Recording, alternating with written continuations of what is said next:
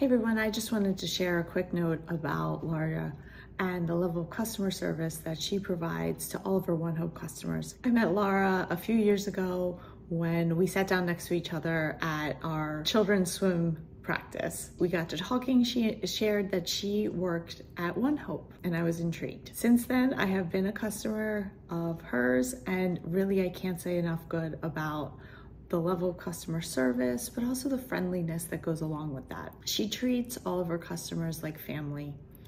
And I have to say that that is, in this day and age, that's really important. So cheers everyone to great customer service